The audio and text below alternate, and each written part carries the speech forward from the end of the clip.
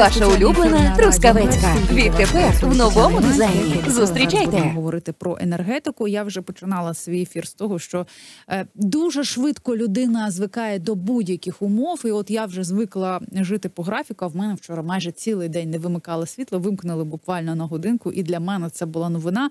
І навіть знаєте, певний такий дискомфорт, тому що я не розуміла. В мене вже все життя було підлаштовано під ось цей е, сіро-чорно-білий графік. А з а вчора прям.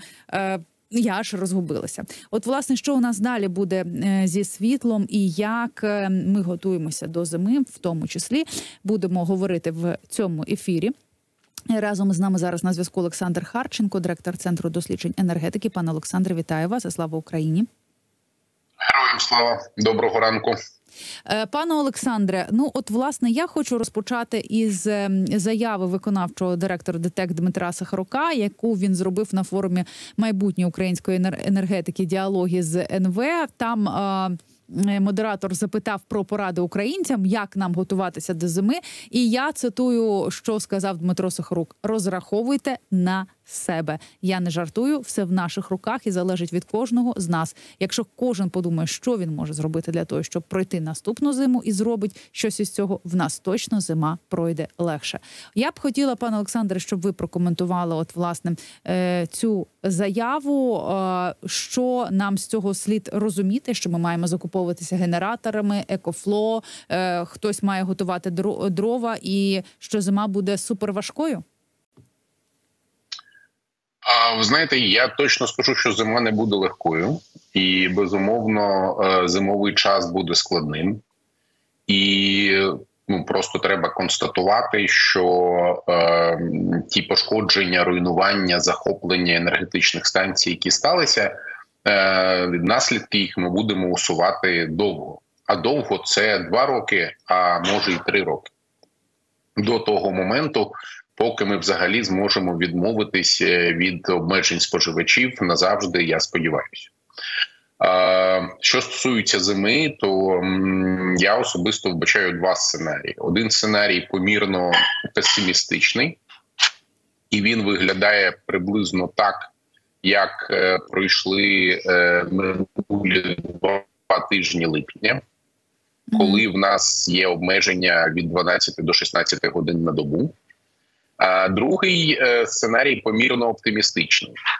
Помірно оптимістичний сценарій передбачає, що не буде великих атак, що ми зможемо відновити доволі значну кількість пошкодженої, але не знищеної генерації, і що її не знищать, як тільки ми її запустимо. Це все складові цього сценарію. От тоді ми можемо розраховувати на те, що взимку обмеження будуть ну те, що називають зараз вже люди одна-дві черги, тобто до 6 годин на добу. Угу. Ну, от, власне, про те ж е, про ось цей помірно оптимістичний е, сценарій. Е, Та тут справді розуміємо, що от. Той, який буде перший чи другий варіант, все так само залежить і від е, обстрілів, і від того, скільки ракет в нас збираються випустити е, росіяни, і від е, роботи енергетики, в тому числі. Тут знову ж таки варто зазначити, що пан Сахарук говорив про те, що зараз енергетики працюють справді 24 е, на 7 і намагаються підготувати енергетику до зими і. Кратно збільшити її швидкість, але все ж таки усі енергооб'єкти до початку опалювального, опалювального сезону, е, які пошкодили росіяни, відновити не вдасться. Про це заявляє член наглядової ради Укренерго е, Юрій Бойко. За його словами, підготовка до зими зараз буде суттєво відрізнятися від того, що було два роки тому, тому що масштаби руйнування енергетики вони колосальні. От, власне, ми розуміємо, що росіяни дуже багато чого, чого зруйнували, але як саме зараз буде ось це суттєво відрізняється? Що, що це означає? Ну, два роки тому ми турбувалися про наявність палива, і в нас були значно більше генеруючі потужності, ніж е, нам були потрібні. Е, Сьогодні в нас е, невідомо куди подіти українське вугілля, тому що воно такої якості, яке нікому там в світі більше не потрібно. А одночасно одночасно в нас значний дефіцит саме генеруючої потужності, і Зараз іде одночасно відновлення генеруючих потужностей, пошкоджених, але не знищених. Таких є доволі ну така відчутна кількість. Е, я не буду там зовсім в цифри вдаватися, але тим не менше їх доволі багато, і над ними дійсно йде постійна робота над тим, щоб відновити все, що можна відновити. А другий напрямок це будівництво нових потужностей, і він невідворотній. Тобто, навіть те, що буде відновлено з вугільної генерації, ну ці потужності вони і так 50 років тому були збудовані. Вони вже років 10 просяться на покой просто без війни навіть. А зараз вони стрімко такими максимально стрімкими темпами наближаються до стану металобрухту. І протягом 3-4 років вони своє функціонування в будь-якому разі вичерпають. Я не кажу навіть про нормативи Європейського союзу, які ми маємо виконувати, про екологічні викиди, які ми маємо виконувати як країна-кандидат, і так далі. Вони просто фізично е, зношені і ну не зможуть довше працювати. Це означає, що альтернативи будівництву нових потужностей в Україні сьогодні немає, і питання тільки в тому, як швидко і як ефективно ми їх побудуємо. Вони вже будуються, але будуються зараз ну може, може там 5% е, від того, що нам насправді потрібно. Ну і ми розуміємо, що будуватися зараз також небезпечно, тому що обстріли е, не припиняються, і е, росіяни різними шляхами дізнаються інформацію, що де відбувається в Україні, і намагаються намагаються це знищити. Власне, а ви кажете про те, що будується, а там от три роки та ви не даєте цим станціям. А відремонтувати їх можливо? Чи є сенс ремонтувати старе? Чи краще одразу будувати нове? Ну, давайте ще раз повторюся. Безумовно, для того, щоб прожити наступні 3-4 роки, нам треба відремонтувати старе, щоб воно ці 3-4 роки прикривало дірки. Але воно, оце старе, відремонтоване, відновлене, воно не проживе довше ніж 3-4 роки ні при яких розкладах. Воно занадто старе, занадто пошкоджене, занадто ненадійне, екологічно небезпечне і так далі. і так далі. Тому ну альтернативи будівництва нових потужностей реально не існує. Тобто, у нас є три роки на те, щоб е, побудувати щось е, нове, щоб далі не було ось е, такої проблеми. Правильно зі, зі світлими енергетикою? Абсолютно точно. Угу.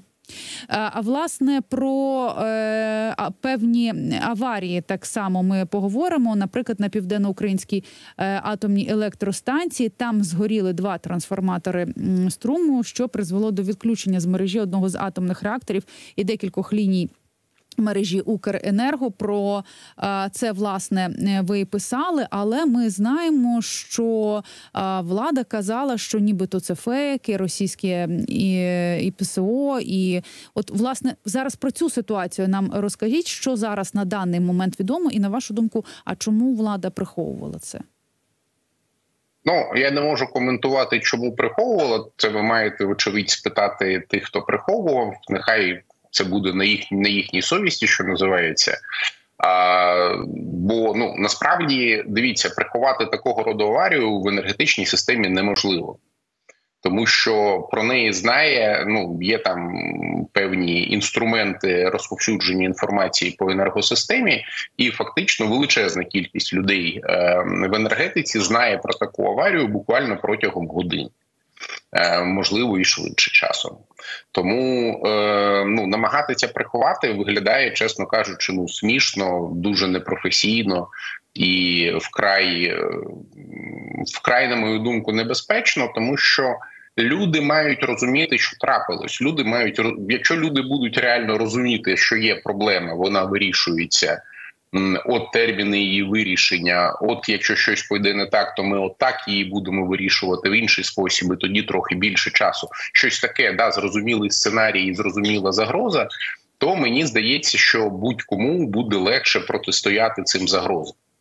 А оскільки я тут вже проголошений лідером російського ІПСО в Україні, то на мою думку, от якраз російському ІПСО сильно підіграє приховування інформації бо починають розповсюджуватися абсолютно фантастичні безпідставні теорії, ем, які людей залякують, які людей дезорієнтують.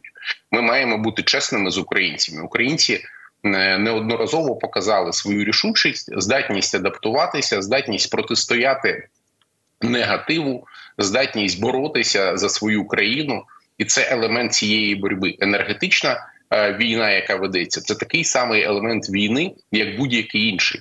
І мені здається, що українці, як ніяка інша нація в світі, готові цю війну ввести, готові на ній страждати часом. Давайте будемо відвертими. Ми всі страждаємо через відсутність електрики, але при цьому не здаватись і перемагати. І мені здається, що ми гідні того, щоб мати об'єктивну інформацію про те, що відбувається. Зрозуміло, без тих деталей, які можуть принести е, якусь користь ворогові, але повірте, що, ем, по-перше, таких аварій насправді трапляється доволі багато. Просто іноді вони трапляються в місцях, де наслідки для ем, енергоживлення великої кількості людей більші, і це був саме такий випадок. Угу. А, а власне про е, наслідки е, на південноукраїнській АЕС, е, чи що вам зараз відомо, чи їх вже всі усунули, і чи там вже все гаразд? Ну насправді за добу було е, введено блоки назад в роботу. Навіть трохи менше ніж за добу, і на місці інженери професійно і чітко відпрацювали. І інженери е, Укренерго, і інженери енергоатома які взагалі показали себе. В цій роботі абсолютно адекватними людьми, але при цьому, до речі, цікавий факт, який чомусь всі упускають. Вчора була новина, що призначено нового директора південноукраїнської атомної електростанції. При цьому новини про е, звільнення старого я не бачив. Не знаю, може я пропустив просто, але тим не менш якось от так сталося. Угу. Ну цікаво, будемо спостерігати далі за е, цією е, ситуацією. Зараз е, власне про те, що ситуація в самій енергосистемі України покращилася після підключення двох атомних енергоблоків. Їх достроково відремонтували, і відключень світла стало менше. Я от вчора я от згадувала, що в мене вчора е, цілий день, наприклад, е, було світло, його вимикали буквально е, на е, годинку. Е, про що це свідчить? Чи можемо ми сподіватися, що все ж таки е, ось це відновлення, ось ці ремонти вони йдуть швидшими темпами, і ми е, ближче до помірно оптимістичного варіанту проходження цієї зими? Ну, як я і казав, дійсно відновлені ідеї і йдуть і профілактичні ремонти енергоатома з випередженням графіку часто. Е, треба розуміти, що зараз е, всі енергетики абсолютно працюють в такому дуже пришвидшеному темпі. Е, скажімо, ті речі, які європейські енергетики роблять за 9 місяців, в Україні роблять за 5-6 тижнів, і це реальна ситуація. Ремонти, які в Європі виконуються там за 10 тижнів, в нас виконуються за півтора.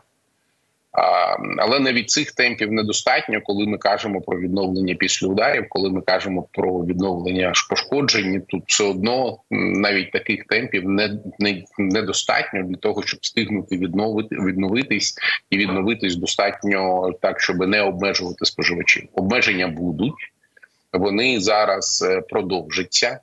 Ем, Наступні ремонти почнуться найближчим часом, і це теж буде певною мірою відчутно. І тільки наприкінці серпня вже стане дійсно ну те, що називається словом полегше, більше електрики, менше обмежень. Угу. Зрозуміло. Ну а от власне про е, те, е, де ми ще і що стосується нашої енергетики, і де ми ще би мало отримати допомогу, а насправді отримуємо, ну скажімо так, погрози та шантаж. От після нашої заборони на транспортування нафти російської компанії Лукойл через трубопровід Дружба Угорщина і Словаччина почали нам погрожувати заходами у відповідь, і в тому числі тими заходами, які стосуються нашої енергетики. От, власне, як це може погіршити наші умови, і чи залишимося ми без частини експорту електрики чи нафтопродуктів? Наскільки це критично? Ну відверто кажучи, е, я скептичний щодо всіх цих загроз. А ми маємо е, розуміти, що ми і так не вибираємо повністю імпортний перетин. І, скажімо, в цій ситуації, якщо там Угорщина щось закриє, ну є інші країни, є інші е, з'єднання. І якщо чесним бути, то я думаю, що влада має зараз в дипломатичному спілкуванні своєму бути міцною і на ці загрози не реагувати. Е, бо е, ну ми вже давно бачимо, е, як себе поводить Угорщина. Ми фактично звикли до того, що будь-яке, в тому числі енергетичне, між іншим питання, вони там, наприклад, ніколи не надавали нам аварійну допомогу. Можна там порахувати один раз чи два за весь цей час, ем, в той час як там Польща, Румунія відгукуються і допомагають. Тому, ем, ну, по перше, я певен, що жорстка позиція щодо Угорщини не змінить для нас нічого на гірше, але може змінити для нас багато що на краще. Бо якщо їм буде боляче, і вони зрозуміють, що таке боляче, тут я про угорців перш за все, то мені здається, що їм доведеться змінювати і свою позицію щодо України. Бо насправді Україна веде себе дуже лояльно, здійснює транзит. Те, що заборонили транзит Лукойлу, ніяк не сказалося на обсягах транзиту, і нафта продовжує йти по маршруту. А от якщо ми дійсно почнемо прикручувати е, вентиль, дійсно почнемо зменшувати масштаби е, транспортування нафти е, на цьому напрямку, от тоді вони відчують це не у вигляді якихось заяв, а у вигляді абсолютно конкретних цифр на їх заправках. І повірте, я певен, що угорській владі це буде дуже боляче. Угу. А власне, коли ми говоримо про те, що ми готуємося е, до зими, і от е, про допомогу від наших партнерів, от ви вже згадували в тому числі і Польщу. Е, як ми чи можемо ми наскільки верніше ми можемо розраховувати на допомогу наших партнерів на ось цей осінньо-зимовий весняний період? Польща запропонувала дуже цікавий план щодо того, як вона може допомогти українській енергетиці. Він пов'язаний з тим, щоб Польщі е, Єврокомісія пом'якшила обмеження на роботу, екологічні обмеження на роботу їх вугільних електростанцій, і е, ну і фактично цей запит включає в себе оплату електроенергії, яку отримає Україна. Е, це був би для нас, звісно, дуже привабливий варіант, тому що ми би отримали максимально можливу кількість електроенергії і не отримали би величезні рахунки за неї. Це прям дуже привабливо. Я хочу сподіватися, що Україна зараз разом з польським урядом над реалізацією цього плану веде перемовини з Єврокомісією. Дуже хотів би це в це вірити. Е, новин ніяких з цього приводу на жаль немає, але е, ну от прям мені мені, мені ця пропозиція видається дуже цікавою і такою, над якою треба максимально інтенсивно працювати.